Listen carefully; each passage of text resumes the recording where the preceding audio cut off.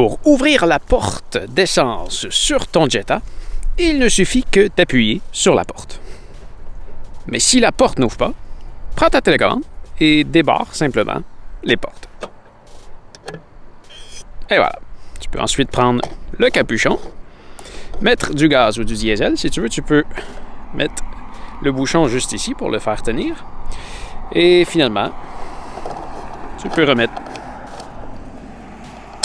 le bouchon, refermer la porte et tu vas pouvoir le rouvrir encore jusqu'à temps que tu barres la porte.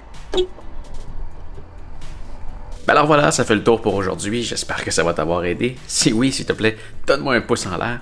Si tu as des questions à propos de n'importe quel sujet, tu peux m'écrire dans les commentaires juste en dessous de la vidéo. Ça va me faire plaisir de te répondre. Et je vais peut-être même faire une vidéo juste pour toi.